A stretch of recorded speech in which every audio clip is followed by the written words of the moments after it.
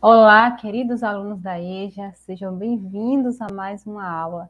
Eu sou a professora Laíse, estou aqui para recebê-los e para acompanhá-los em mais essa jornada pela aprendizagem. E espero que vocês estejam bem, se cuidando, cuidando de sua família. E eu imagino que vocês já estejam aí com seu material prontinho para a nossa aula, que já vai começar agora. Hoje a nossa aula será de Ciências da Natureza e nós vamos começar a nossa aula, como sempre, com a mensagem, uma frase para a nossa reflexão. Nossa mensagem de hoje diz que uma família unida pode ser um verdadeiro alicerce na construção da sua felicidade. Será que você tem levado isso em conta? Tem levado em conta a união da sua família para a sua felicidade, para a construção da sua felicidade? Pois é. Então é bom a gente sempre estar unido, né? Ter pessoas ao nosso lado que nos apoiam, que estão conosco, para construir essa felicidade. Porque ninguém é feliz sozinho, não é verdade? E a primeira comunidade em que nós estamos inseridos é a nossa família. Então, é, é importante que essa primeira comunidade em que nós estamos esteja funcionando bem, esteja unida, esteja tudo acontecendo como deveria. Então, partindo dessa mensagem, né, essa foi a nossa reflexão de hoje, e nós vamos para as perguntas iniciais da nossa aula, que vão nortear a nossa nosso estudo de hoje, sobre o assunto de hoje. Primeira pergunta é: você sabe qual a importância do sistema reprodutor para a manutenção da espécie humana? Qual a importância do sistema reprodutor para o nosso organismo, para a nossa espécie? Por que o sistema reprodutor é importante a gente cuidar dele? Quais são os órgãos que fazem parte do sistema reprodutor feminino e masculino? E conhece a importância de cuidar da saúde do sistema reprodutor, porque nós já estudamos outros sistemas e sabemos que existe, né? Sistema respiratório, cardiovascular, sistema nervoso, que nós já estudamos em outra aula. E sabemos que esses sistemas são importantes porque mantêm nossa sobrevivência, sobrevivência do nosso organismo. Porém, o sistema reprodutor, ele não é importante para a nossa sobrevivência do nosso corpo. Ok mas é importante para a sobrevivência da nossa espécie. O que você entende por sexualidade? Quando você escuta essa palavra, o que, que você pensa? Será que tem só a ver com sexo ou tem a ver com outras coisas também? Nós vamos também falar um pouco sobre isso. Vamos saber mais na aula de hoje. Para começar, vamos falar sobre a reprodução humana que é a garantia de sobrevivência e perpetuação da nossa espécie, pois é através dela que surgem novas gerações cada vez mais adaptadas ao ambiente. Então, se não houvesse a reprodução, ficaria impossível de manter a nossa espécie sobrevivendo aqui na Terra, não é? Então, através dela vão surgindo novas gerações adaptadas às mudanças que acontecem naquele ambiente. Então, se naquele ambiente é necessário que a pessoa seja resistente ao frio, então as novas gerações que nasceram já vão ser adaptadas a sobreviver naquele ambiente. Ao calor, se fosse o contrário, é, gerações que são resistentes ao calor, também vai acontecer a mesma coisa. E assim vai acontecendo a evolução e a adaptação dos seres humanos aos ambientes. Então, o sistema reprodutor masculino e feminino é responsável por produzir o gameta, ou seja, as células reprodutivas. Masculino, que é o espermatozoide, e o gameta feminino, que é o óvulo, né? O ovócito secundário, que é o nome, nome científico lá utilizado pelos estudiosos, mas que nós chamamos de óvulo, popularmente.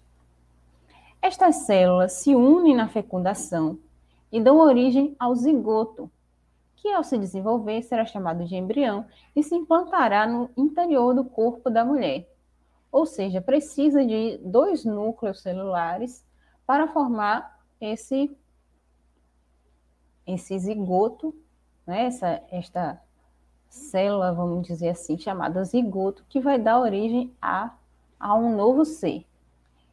Então, é necessário que exista uma célula masculina, né, um gameta masculino e um gameta feminino, para que daí da junção desses dois núcleos dê origem a um novo a um novo ser, a uma nova pessoa que vai ser originada ali. E aí esse zigoto, né, ele vai se implantar no interior do corpo da mulher e se desenvolver ali no útero até o seu nascimento. Então agora vamos ver primeiro como é formado o sistema reprodutor masculino e as suas funções. Ele tem a função de produzir espermatozoide e depositá-lo no interior do corpo da fêmea. Então, tem somente essas duas funções. Porém, para executar essas duas funções, é necessário que ele tenha é, toda essa estrutura para que esse objetivo seja alcançado. E por isso ele é formado por órgãos internos e órgãos externos. Vamos ver? O pênis e o saco escrotal são chamados órgãos reprodutivos externos do homem, porque é aquilo que dá para ver pelo lado de fora. Os testículos, epidídimos, ductos deferentes, ductos ejaculatórios, uretra, vesículas seminais, próstata, glândulas buborretais, olha aí, são os órgãos reprodutivos internos. Será que vocês sabiam que por dentro existem todos esses órgãos reprodutivos internos, justamente porque está lá por dentro a gente não consegue ver, né? Está funcionando lá por dentro do organismo masculino. Então, o que é que acontece? Os espermatozoides são produzidos no testículo, eles são células, né? São como células, os gametas masculinos. E essas células precisam ser levadas até o, o corpo da mulher, né, até o local onde está o óvulo. Para isso, eles vão ser, vão ser levados pelo ducto deferente até aqui na próstata. Então, como é que acontece? Os espermatozoides são produzidos nos testículos e eles são levados pelo ducto deferente até a próstata e passam pela próstata e pelo porque na próstata e na vesícula são produzidos líquidos que vão ajudá-lo a literalmente nadar, não é? Ou a produzir o, o líquido seminal, o sêmen, que vão ajudar eles a nadarem ali e chegarem lá no óvulo. E esses mesmo, esse mesmo líquido vai passar também pela uretra para poder sair do corpo masculino. O pênis é formado por um tecido chamado Corpo cavernoso também é chamado assim, corpos cavernosos. Por quê? Esse, esse tecido é um tecido esponjoso que vai ser, que ele pode ser preenchido com sangue e por isso que ele vai ter, vai conseguir ficar ereto, né? Vai ter aquela, vai conseguir ter a rigidez necessária para conseguir fazer a penetração e levar o sêmen até o interior do corpo da fêmea. Então, é assim que vai funcionar a, a essa função aí de tanto de produzir como de depositá-lo no interior do corpo da fêmea.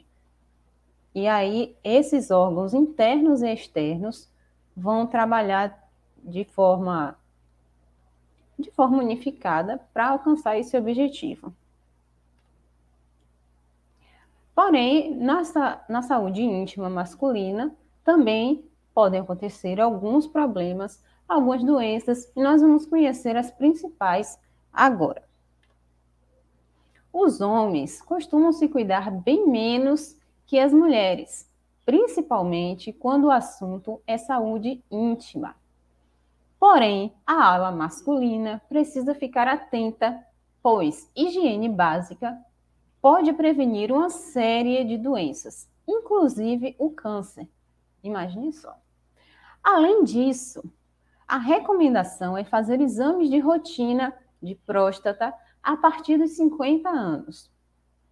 As doenças mais comuns que podem atingir a saúde do sistema reprodutor masculino são câncer de pênis, câncer de próstata, deficiência androgênica do adulto, fimose e disfunção erétil. São as cinco principais, né, mais comuns que acontecem aí na saúde íntima do homem. Nós vamos falar de cada uma delas para que vocês conheçam e fiquem aí atentos para a prevenção. A primeira delas é o câncer de pênis. Já ouviram falar nisso? A má higienização pode ser uma porta de entrada para várias infecções ou doenças que podem facilitar o surgimento do câncer de pênis com o tempo. E o tratamento é apenas cirúrgico. Então, você que tem aí, né, que, que quer cuidar da sua saúde, cuide também da sua higiene, porque pode levar até a um câncer de pênis. E nesse caso, o tratamento é apenas cirúrgico. Não tem aquilo de fazer radioterapia, quimioterapia, é só cirurgia. É possível tirar apenas uma parte do pênis, mas há situações mais graves em que é preciso amputar o membro. Pois é. Isso acontece muito em populações rurais e estudos sugerem que o sexo com animais pode favorecer o aparecimento da doença. Então, esse câncer de pênis que acontece é gerado por, por infecções ou doenças que, que acontecem por, por várias causas, mas principalmente pela má higienização, né? ou seja, a limpeza mesmo das partes íntimas que não acontece. E aí gera infecções, doenças que não são tratadas, e essas doenças não tratadas podem acabar com o tempo, é, levando ao surgimento desse câncer. E aí, depois do tratamento, é só cirurgia. Então, é melhor prevenir do que, nesse caso, remediar, né? Depois, nós temos também câncer de próstata, que é o câncer que mais mata homens, pelo menos no Brasil. Ele não costuma apresentar sintomas no início. É, quando eu mostrei ali, a próstata é aquela, é como se fosse uma, é uma glândula, né? Que ela serve para produzir líquido é, para formar o sêmen. Então, essa, essa glândula, ela pode também vir a sofrer aí um, um câncer, que é o câncer que mais mata homens no, no, no Brasil e não costuma apresentar sintomas no início, ou seja, a pessoa não sente nada, o homem não sente nada. Recomenda-se, então, que homens, a partir dos 50 anos, façam os exames de próstata e de PSA, que é o de sangue, anualmente. Homens negros ou com histórico na família devem iniciar esses cuidados aos 40 anos, então. Quando diagnosticado em estágio inicial, a doença tem 90% de chances de cura. Os tratamentos indicados para a doença são cirurgia e radioterapia, quando o tumor está localizado apenas na próstata.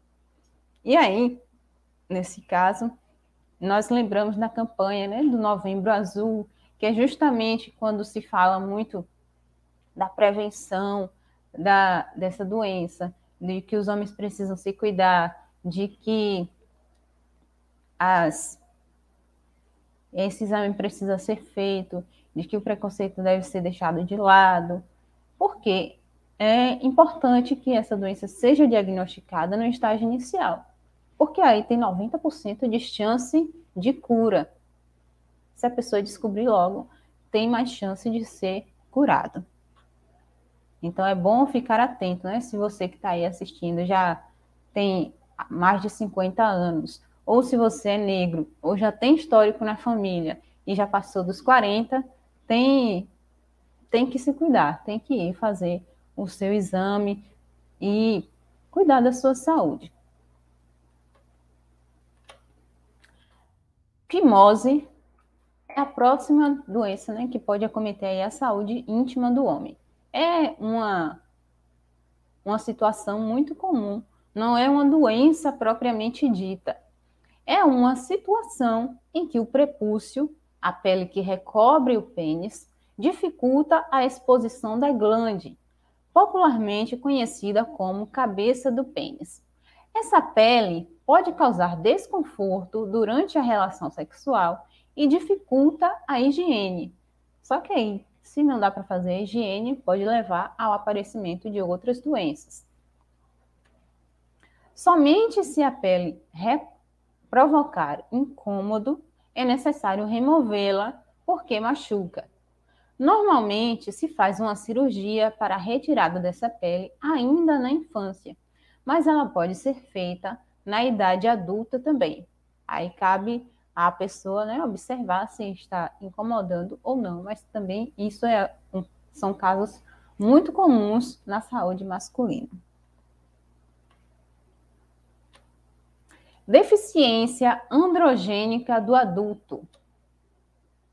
Mais conhecida como andropausa, ocorre quando há queda na testosterona. A testosterona é o hormônio mais produzido pelo corpo masculino, pelo organismo masculino, né? O que faz é, quando o, o adolescente, né, o menino, adolescente, vai estar se tornando um homem, o que faz ele ter engrossar a voz, surgirem a, barba, os pelos no corpo, enfim. Então, é, para um homem ter uma queda na, na, testosterona, aí pode causar problemas na sua saúde. Então, esse problema se manifesta após os 50 anos, com perda de massa muscular, perda de libido, ou seja, da vontade de fazer sexo, e alterações de humor, que podem ser confundidas com depressão. Então aí a pessoa pode achar né, que aquela pessoa, aquele homem está com depressão, porque está daquele jeito. Na verdade, ele está com queda na testosterona.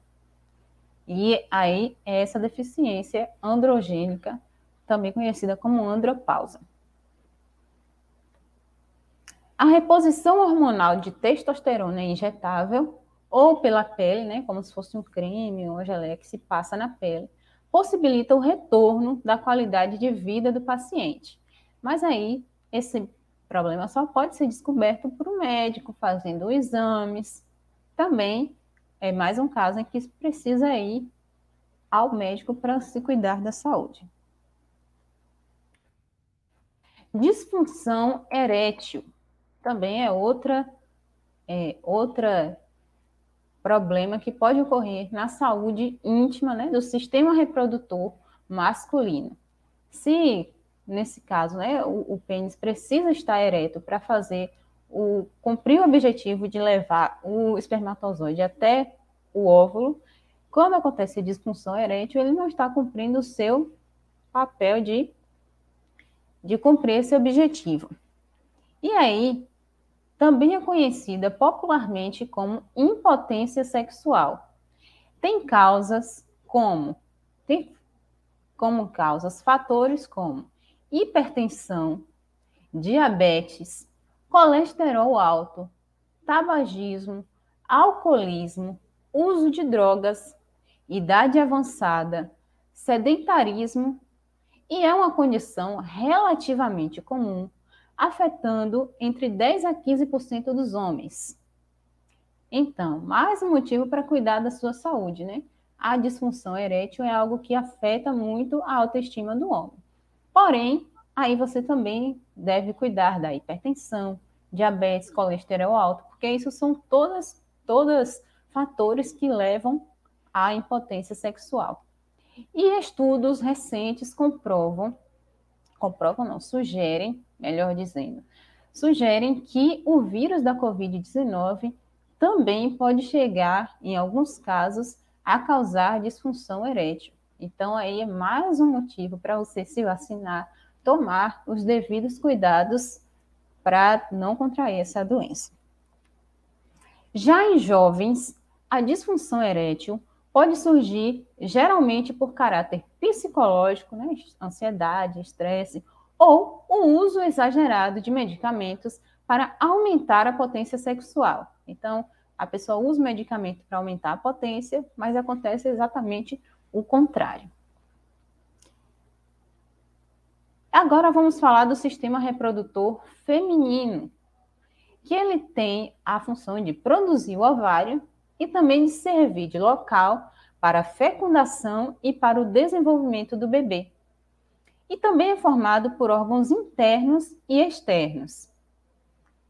Ele também tem essas funções, né? Agora são três funções: produzir ovário, serve de local para a fecundação e para desenvolver o bebê. Para executar essas três funções, também existe uma gama aí de estruturas para que tudo funcione direitinho. Os órgãos externos recebem a denominação geral de vulva. Incluem lábios maiores, lábios menores, clitóris e aberturas da uretra e da vagina. E aí muitas pessoas confundem vulva com vagina. A parte externa, né, que é visível do sistema reprodutor feminino é chamada de vulva, é bom a gente saber o nome correto das coisas. A vagina é o canal que leva até o útero. Já os órgãos internos incluem os ovários, as tubas uterinas, o útero e a vagina.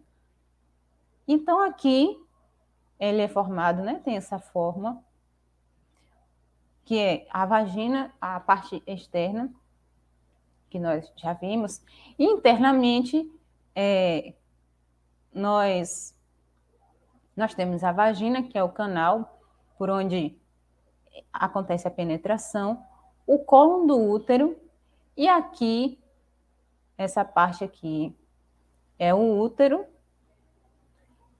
Aqui nos ovários é onde é produzido os óvulos. E por esse canal aqui, chamado de tuba uterina ou de trompas, é por onde os óvulos são liberados e normalmente né, pode acontecer a fecundação aqui nas trompas, e aí o óvulo fecundado, né, o zigoto ou embrião, vai, passa daqui para ser implantado no útero. Então, aqui nos ovários, acontece também a produção de hormônios femininos, como estrogênio, progesterona, outros hormônios que são necessários para a saúde e o desenvolvimento normal do corpo da mulher. No útero também tem o endométrio, que é uma, o tecido que recobre a parede do útero, né, que é onde o, o embrião vai se fixar. E aí também no corpo, nessa, no sistema reprodutor feminino, podem acontecer também algumas doenças que nós também vamos conhecer. Quanto à saúde das mulheres, apesar de todos os esforços e de serem mais cautelosas para evitar as doenças ginecológicas, a falta de informação faz com que elas acabem ignorando alguns sinais estranhos ou dores no corpo. Muitas vezes até se automedicam ao invés de procurarem ajuda médica. As doenças mais comuns que podem atingir a saúde do sistema reprodutor feminino são vulvovaginite, endometriose, síndrome do ovário policístico, candidíase e mioma uterino.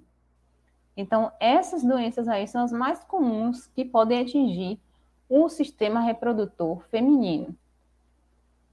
E nós vamos conhecer elas também agora. A primeira é vulvovaginite. É uma inflamação da vulva e da vagina. Pode ocorrer por infecção por vírus, fungos ou bactérias. E pode surgir em mulheres de todas as idades, porque é, alguns desses vírus, fungos, podem ser já normais da, daquele, daquele local, né? Porém, por alguma mudança no, no pH ou no pH da pele, uso de, de roupas muito apertadas, de algum medicamento que esteja tomando, e aí pode acabar alterando a formação da, da pele daquele local e facilitando o, a, o aparecimento dessas, desses micro-organismos. O aparecimento não, que eles já estão ali. A proliferação desses micro-organismos é causado pelo desequilíbrio da flora vaginal, falta de higiene vaginal, alergias também podem causar isso, ou alterações hormonais, foi o que eu acabei de dizer. E ela pode causar corrimentos líquidos ou grumosos, odor fétido, coceira, vermelhidão, irritação e dor durante a relação sexual. Para o tratamento dessa doença ginecológica, podem ser utilizados medicamentos e é necessário ter uma boa higiene local. Então, a vulvovaginite pode ser uma inflamação tanto da vulva, que é a parte externa, como da vagina, que é a parte interna. Síndrome do ovário policístico é um distúrbio hormonal e a mulher pode desenvolver cistos no ovário. Comum nas mulheres em idade reprodutiva, quem tem essa síndrome costuma ter o ciclo menstrual irregular, ou seja, não vem no dia certo, às vezes menstrua a cada dois meses, a cada três meses, e pode ter dificuldade para engravidar. O SOP, como é chamado, também pode causar diabetes por conta da resistência à insulina. Não há uma forma de prevenção para a SOP. Apesar de não poder ser evitada, o seu tratamento é feito na gestão dos sintomas e complicações, como acne, obesidade e infertilidade. Então, é uma doença hormonal que pode causar essas complicações. Endometriose. Essa doença acontece quando a mucosa que reverte a parte interna do útero cresce em outras regiões do corpo. A doença está ligada à infertilidade, pois afeta diretamente as trompas uterinas e os ovários. O tratamento pode ser feito com uso de anticoncepcionais e cirurgias para a retirada das lesões. Os sintomas são cólica menstrual, dor pélvica crônica, né, assim, no pé da barriga, como o pessoal costuma dizer, dor na relação sexual, sangramento ou dor ao urinar, constipação intestinal. Então, esse conjunto aí de sintomas pode ser um fator é, que causa, que causa, que demonstra a presença de endometriose. Mioma uterino é um tumor benigno, né? É um tumor benigno do músculo liso do útero. Então, o útero acaba gerando esse tumor. Geralmente acomete mulheres de 30 a 50 anos, não costuma apresentar sintomas, mas pode ter crescimento excessivo, causando hemorragias com coágulos, períodos menstruais dolorosos e cólicas intensas, dor na relação sexual e infertilidade. Por serem pequenos, miomas e assintomáticos, essa é uma doença que não precisa de tratamento, somente a observação por meio de exames de rotina. Se tratado logo no início, é possível controlar ou até reduzir o tamanho dos miomas através de medicamentos como anticoncepcional. E no caso de miomas maiores, é necessário um procedimento cirúrgico para retirá-lo. Essa é uma doença bastante conhecida né, entre as mulheres, eu já ouvi falar bastante, e que acontece e pode ser tratada se for, pode ser tratada mais facilmente apenas com remédio, se for descoberta precocemente. Candidíase é uma infecção causada pelo fungo Cândida, que já faz parte da flora da região íntima da mulher. É mais frequente em grávidas e mulheres com o sistema imune enfraquecido. Suas principais causas incluem o uso excessivo de antibióticos ou corticoides, a diabetes ou os maus hábitos de higiene, porque facilitam o crescimento de fungos. Dentre os principais sintomas estão corrimento vaginal esbranquiçado, coceira, ardência urinar e dor durante as relações sexuais. Cuidar da imunidade. Evitar o uso constante de absorventes internos e roupas muito apertadas também ajuda na prevenção da candidíase.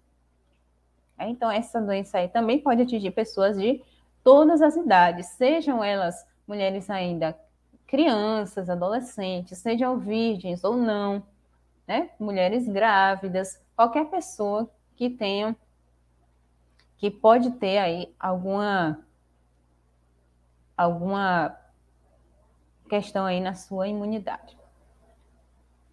E agora nós vamos ver um vídeo que mostra para a gente, né, finalizando aqui, uma psicóloga que explica o que é sexualidade, se ela tem só a ver com sexo ou não.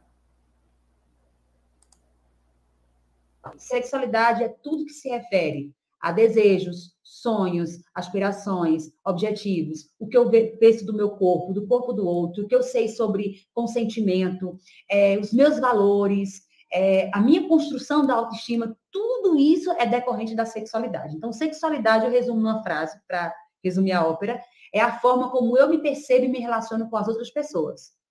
Então, se eu me percebo é, uma pessoa com baixa autoestima, eu vou tender a observar no outro aspectos de baixa autoestima. É, se eu me percebo uma pessoa valorosa, eu vou ter muito mais facilidade de perceber o valor do outro. Se eu respeito o meu corpo, eu vou ter muito mais chance de respeitar o corpo do outro. Então, sexualidade vai passar por esse caminho que é bem mais longo, que envolve questões físicas, mentais, psicológicas, sexuais, econômicas, culturais, religiosas, tudo isso é sexualidade.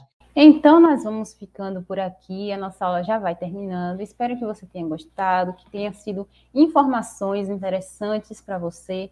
Um abraço, fica com Deus e até a próxima aula. Tchau, tchau.